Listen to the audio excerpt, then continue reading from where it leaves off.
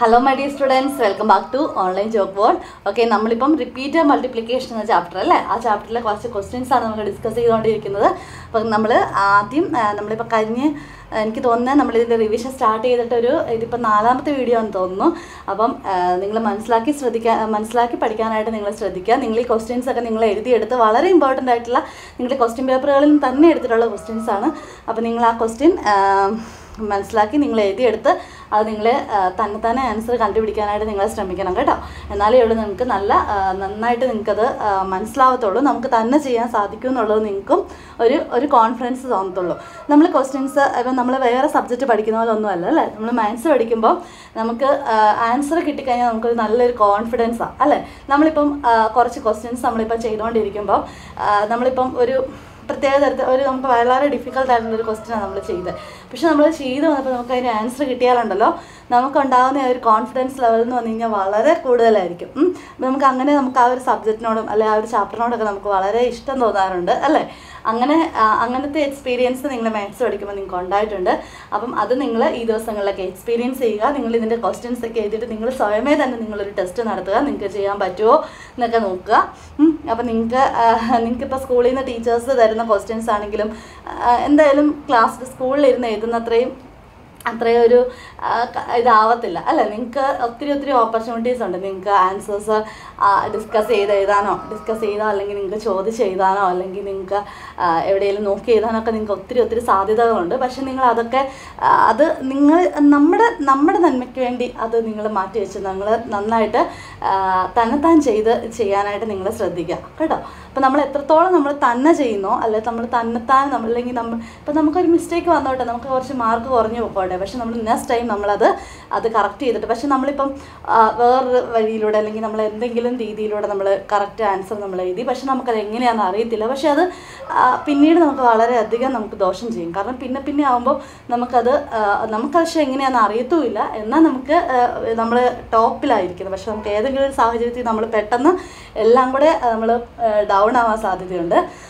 അപ്പം എന്ത് സാഹചര്യം അനുകൂലമാണെങ്കിലും പ്രതികൂലമാണെങ്കിലും എന്തായാലും നമുക്ക് അറിയാവുന്ന കാര്യങ്ങൾ നമ്മൾ ചെയ്യാനായിട്ട് ശ്രദ്ധിക്കുക. അതുപോലെ തന്നെ അറിയത്തില്ലെങ്കിൽ അത് നമ്മൾ കൂടുതൽ മനസ്സിലാക്കാനായിട്ട് നിങ്ങൾ ശ്രദ്ധിക്കുക. നിങ്ങൾക്കിപ്പം ഇഷ്ടംപടി റിസോഴ്സുകൾ നിങ്ങൾക്കുണ്ട്. നിങ്ങൾക്ക് എവിടെ നിന്ന് നോക്കിയാൽ നിങ്ങൾക്ക് എന്തിന്റെങ്കിലുമൊക്കെ ആൻസർ ഇപ്പം നിങ്ങൾ ഗൂഗിൾ സെർച്ച് ചെയ്താൽ പോലും നിങ്ങൾക്ക് ഇന്ന ഇന്ന കാര്യങ്ങൾ നിങ്ങൾക്ക് കിട്ടും.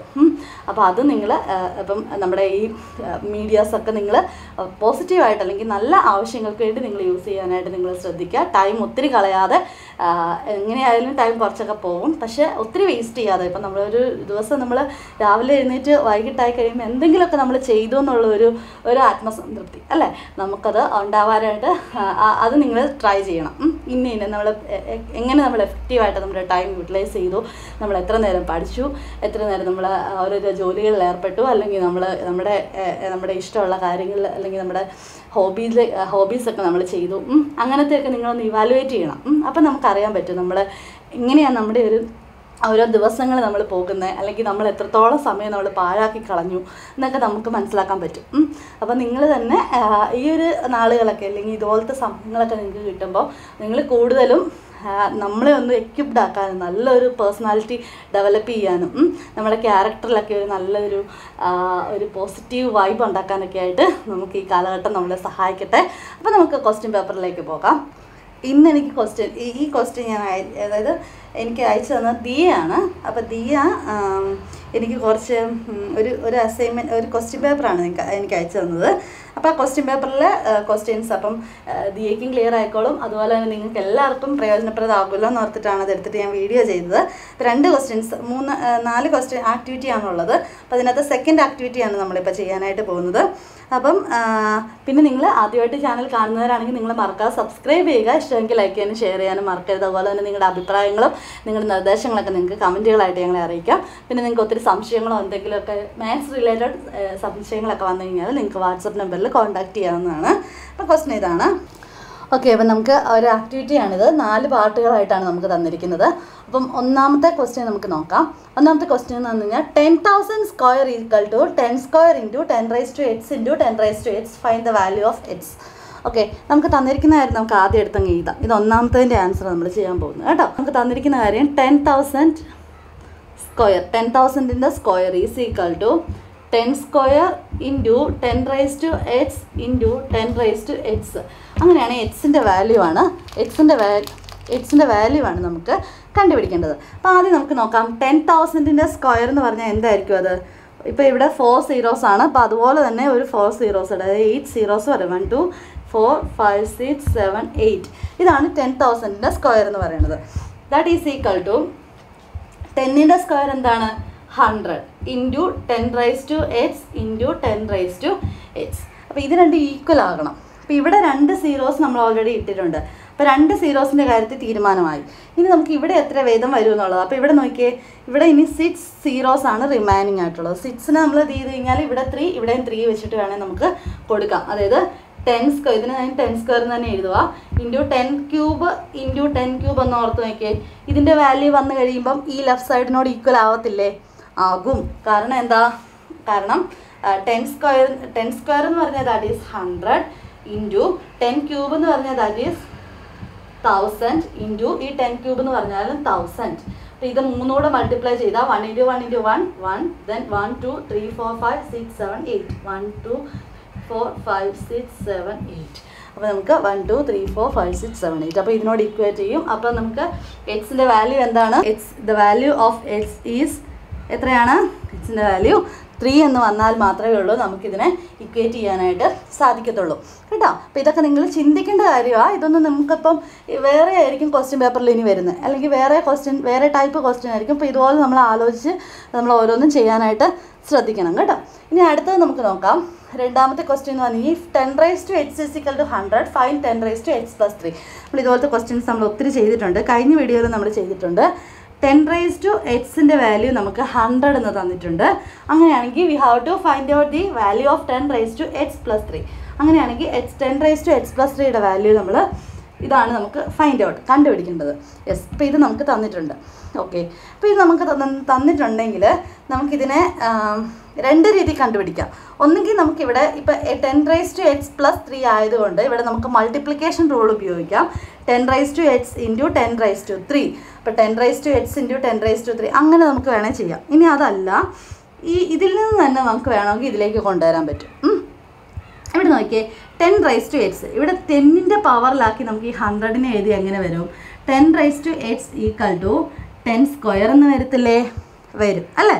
കാരണം ten raise to X equal to ഹൺഡ്രഡിനെ ടെന്നിന്റെ പവറിലാക്കിയ ടെൻ സ്ക്വയർ ആണ് ഹൺഡ്രഡ് ക്ലിയർ ആയല്ലോ? അപ്പം what's value of X X is equal to two എന്ന് കിട്ടി. എക്സ് ടു എന്ന് കിട്ടിയാൽ നമുക്ക് കണ്ടുപിടിക്കേണ്ടത് എന്താണ്? Ten raise to X plus three എന്താണെന്നല്ലേ കണ്ടുപിടിക്കേണ്ടത്? That is ten raise to എക്സിന്റെ വാല്യൂ എന്താണ്? Two two plus three equal to ten raise to five is equal to ten raise to five എത്രയാണ്? വൺ എഴുതിയിട്ട് one two three four five zeros answer എത്ര വരും?